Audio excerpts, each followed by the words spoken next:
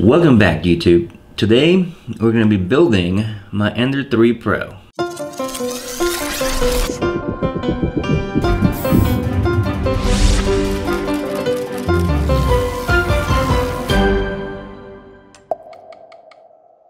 Step 1. We have two beams that go up and down. Let's put this baby on the side. Oh. Got one in.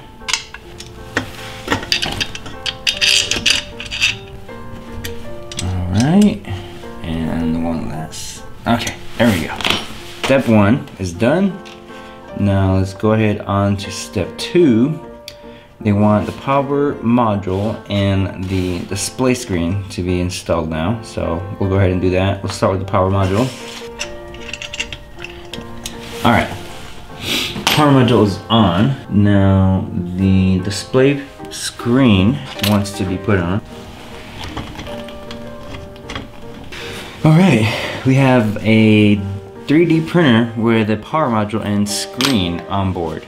There's some kind of bracket for step three.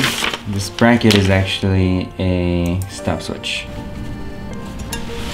All right, step four.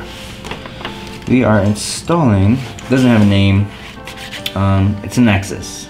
An Nexus for one of the motors. Here we go, this looks more like it. So this part is gonna go on the back of the other side of the power module. All right. It's in there pretty tightly.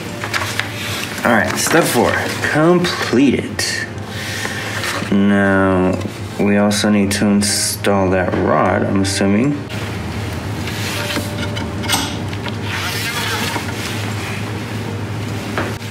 Step five. So we are installing this to a beam. It wants us to do this right here. You don't need any external tools for this, which is very convenient because I don't have my tools here with me today. All right, on. It is on, nice and tight. Not too tight though. And now, on to step six. Let's go ahead and slide this in, see how it behaves. All right, oh my gosh. There's no wiggle in any of this. Just a slide. Makes me so happy. Kind of satisfying. All right, let's put in this other piece. Before I get too excited, this baby right here. Perfect. Now, we are locked in. It slides beautifully. I don't know what else to say. There's no wiggle. It's perfect.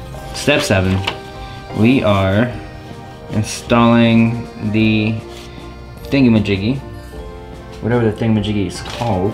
Oh, here we go. We have one of these brackets again. So I guess that's what it's going on here. Yep, yep, yep, yep. Pretty sure that is a tensioner. Step number eight, it wants me to get this little um, belt. So here we go. Synchronous belt. I see I see some slits here, so I think I know what it wants me to do. It doesn't imply it, but now I know. Now I know. Slip it in there. It's tight fit. As it should be. Now we got a tight belt. Um, we've got a tight case on our hands here. It's a good thing. Now, on to step nine. There we go. So right here, um, there's some screws and it says don't tighten too tight. Now I wonder what tighten these do. I'm not sure.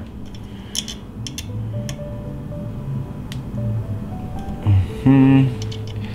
And what is not too tight? That is another question that I ask myself. So here we go, step 10. Let's go ahead and install the top bar. Looks like it goes just like this. All right, looks like we have one jiggled in place. And let's go ahead and tighten that. Beautiful, beautiful, beautiful. All right, so satisfying just watching this 3D printer come together before your very own eyes. I mean, I'm sure it's heck of a lot more convenient to get a printer, to print out of the box, but if you're the kind of person that likes to get hands-on, build your own stuff, this is very satisfying. Step 10, end pieces. Let's just snap these babies in here.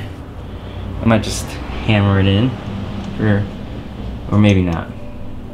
Let's not use a hammer on this yet. Let's just thumbnail push it. Okay. Step 10, done. Step 11, um, we are going to put the spool rack on.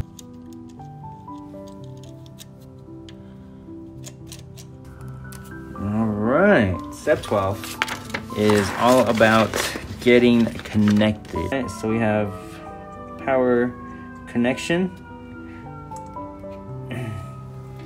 that is made, check. They made this very convenient for you to just plug it in. We have it in the hole, now we're just feeding it through. So other than the instructions that you get for building this 3D printer, you don't get anything else. Uh, I'm sure I can find things on YouTube, but if this is good enough for them, I'm just gonna go ahead and plug it in and see what see what we can get out of this. It's an exciting moment right now. We're getting a 3D printer powering up for the first time ever. So it's plugged in and now let's go ahead and turn it on.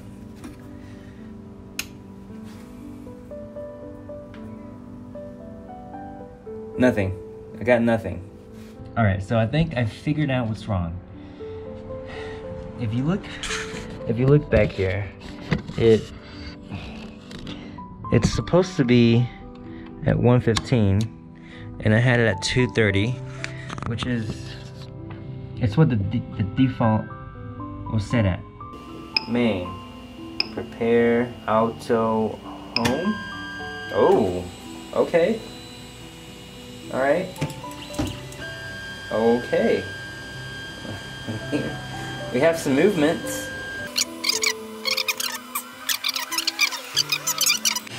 All right, let's go ahead and put that memory in here.